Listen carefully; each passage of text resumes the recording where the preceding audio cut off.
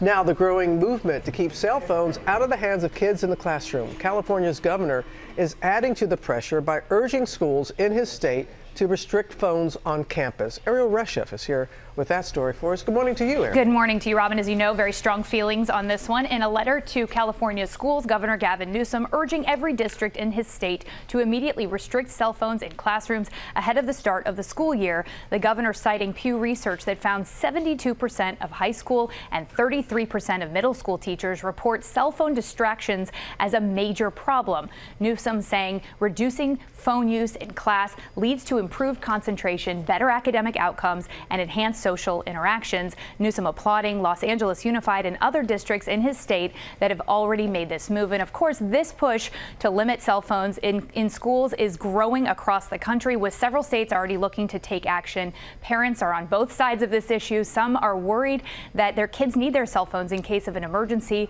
and others say it will go a long way to helping them focus while they're in school and improve overall mental health guys. All right, arguments on both sides of that. Mm -hmm. See where they're both going. All right, thank you so much for that, Erielle.